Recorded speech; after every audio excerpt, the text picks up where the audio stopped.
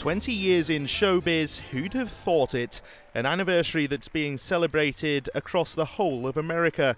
In fact, you'll soon be able to lick the back of Bart's head in the same way you can lick the Queen's in the UK. Yes, Homer and his family set to star not just on the screen, but on the post too. And I would love to join this lucky group of Simpsons. They join the ranks of real characters such as Elvis, Frank Sinatra, Bette Davis, and Honest Abe Lincoln, to name a few. The stamps will serve as a reminder for years to come of the historical significance of the longest running primetime comedy in television history and the cultural phenomenon it has become.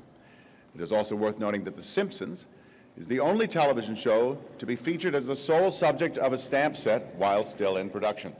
Probably America's most famous family, well, except for the Obamas. 34,000 post offices will issue 1 billion of the Simpsons stamps, on a par with the British royal family. Total cost 44 cents for a stamp. Though maybe not as classy as the Windsors, though. The American royal family will be celebrating its 20th birthday with the news Fox has commissioned two more seasons.